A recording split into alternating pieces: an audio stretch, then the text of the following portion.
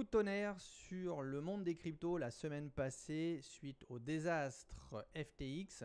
En effet, si c'est ok d'acheter du Luna ou un autre token et de voir sa valeur aller à zéro, à la limite ça fait partie du jeu, eh bien c'est moins ok euh, de voir ces euh, fonds confiés à un exchange qui en a donc euh, la charge et la garantie, voir ces fonds s'évaporer en l'espace de 24 heures suite à des fraudes et des malversations. Alors c'est pas le sujet de cette vidéo, vous savez qu'on s'intéresse ici à ce qui se passe sur le prix. Donc je vous invite à regarder avec moi euh, immédiatement ce qu'il se passe sur le Bitcoin, donc suite à cette euh, semaine passée, sur le court terme, le moyen terme et le plus long terme, ce tout de suite après la petite intro.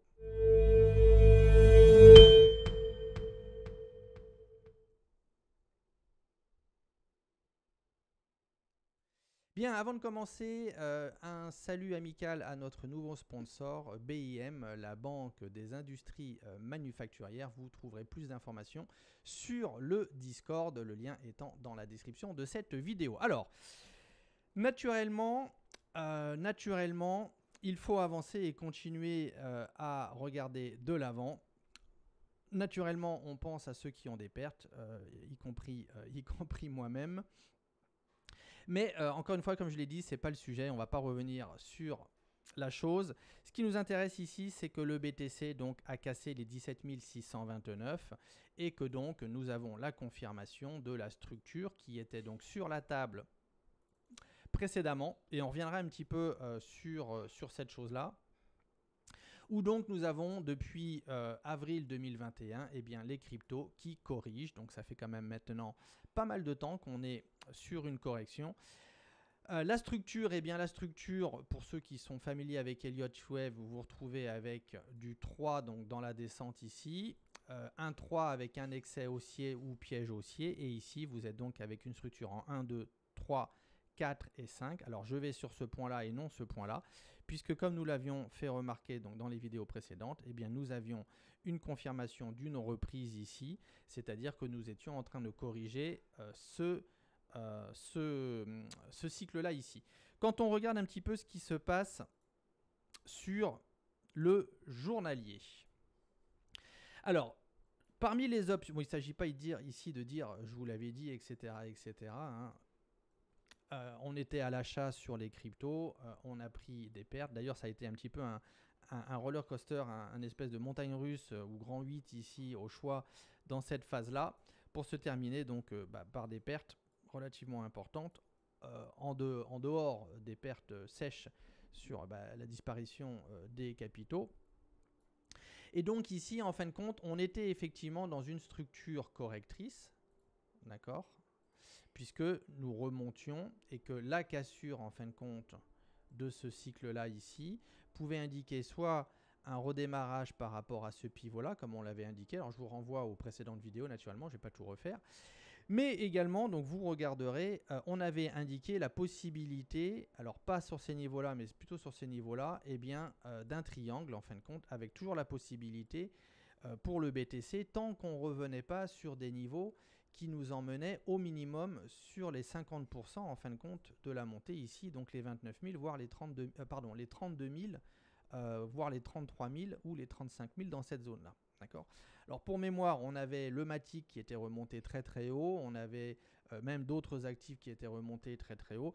Bon, finalement, on voit que probablement, euh, probablement tout ça eh bien, est le fruit euh, de manipulation plus que véritablement d'un essor du marché. on le voyait bien avec le BTC qui stagnait en fin de compte sur, sur ses plus bas. donc ici, quelle est la structure qui nous attend? Eh bien, le fait que on casse directement, on peut avoir plusieurs possibilités ici. Soit un triangle qui est cette forme-là, c'est-à-dire qu'on ait un redémarrage qui nous remette vers les, 19 000 et puis éventuellement plus bas, d'accord, pour pallier, euh, donc pour finir en fin de compte la dernière, euh, jambe ici euh, de ce 5. Soit évidemment, on a la possibilité d'un redémarrage depuis les points, immédiats, mais comme on le verra tout à l'heure, eh bien c'est un petit peu plus compliqué parce que le SP500, on va le voir tout de suite, eh bien ne va pas donner de répit euh, dans les au moins cette semaine sur les cryptos. On verra ça dans un instant. Ou alors vous avez également la possibilité, et c'est ce que l'on envisage maintenant, eh bien c'est que comme on redémarre d'un nouveau cycle ici, avec cette correction qui est terminée, avec une espèce de flat en double correction, en fin de compte ici, au lieu d'avoir une 5, on a une 3, et eh bien c'est que comme sur les cycles précédents, on était en 3 vagues systématiquement, eh bien pas de raison que ça change et qu'il en soit autrement ici sur le dernier cycle, et bien qu'on soit effectivement donc dans une 3. Alors où est-ce qu'on sortira? Eh bien on voit que les projections qu'on peut faire avec des 5 qui sont égales au 1 ou avec des coefficients euh, correctifs, etc., ben, ne font pas trop sens, puisque je rappelle quand même qu'on descend des 70 000 et qu'on se retrouve à 15 000, donc je vous laisse faire le calcul, ça fait quand même beaucoup, et que donc ce qui va nous intéresser, eh bien, ça va être ce qui se passe dans les plus petites euh, unités de temps. Petite pause dans cette vidéo pour te parler de l'exchange BitGet. BitGet est une plateforme complète de trading disponible sur le web et applications mobiles avec plus de 200 crypto-monnaies disponibles. Tu auras accès à énormément de fonctionnalités comme le trading en démo pour tester tes stratégies sans risque de perte, le spot trading, les futurs avec effet de levier jusqu'à x125, je te conseille de ne pas dépasser x10, le copy trading qui t'offrira la possibilité de copier automatiquement les stratégies des meilleurs traders de la plateforme, l'accès à un bot de trading fonctionnant grâce à une intelligence artificielle, des launchpads et un système d'épargne pour déposer tes cryptos avec rendement annuel. Je t'invite dès maintenant à t'inscrire sur la plateforme en passant par mon lien partenaire, ton email suffira, pas besoin de KYC et tu bénéficieras de 15% de réduction sur tes frais de trading et des accès privilégiés sur les services LensWave. Alors, donc, sur les plus petites unités de temps, eh bien, c'est le 3 heures. Donc, je rappelle ici, on a un cycle qu'on va considérer comme étant le début d'un nouveau cycle baissier. Et euh, donc ici, on peut voir naturellement que nous avons un cycle qui s'est terminé donc sur les plus bas du 10 novembre. On pensait avoir effectivement un redémarrage euh, avec l'annonce des taux d'intérêt euh, pardon, l'annonce de l'inflation en fin de compte euh, qui est en recul aux États-Unis et qui avait boosté les marchés boursiers et un petit peu effectivement les cryptos, mais on voit que pendant le week-end, eh bien là on se remet en fin de compte en 3. Donc ici, de deux choses l'une, soit on arrive à tenir ces pivots-là en termes de sentiment ou en termes de prix, et à ce moment-là on peut imaginer un rebond directement ici, mais rebond 1, 2, 3 qui nous renverrait vers les 18 000 voire les 19 000. Avant, donc, la troisième jambe, donc 1, 2 et 3, la troisième jambe, qui, si on fait des projections ici, eh euh, pourrait à ce moment-là nous envoyer vers les 12 400, donc aux alentours des 12 000, 12 500, on va dire, un petit peu à la louche. Naturellement, si on devait casser directement euh, les niveaux des 15 577, donc dans les jours qui viennent, euh, relativement rapidement maintenant, puisque on a quand même une séquence baissière ici qui a été actée et qui devrait nous projeter sur les 15 150 sur le 45 minutes. Et que donc par conséquent, euh, les rebonds ici sont plutôt en fin de compte euh, euh, des, des, ventes à effectuer donc sur les futurs.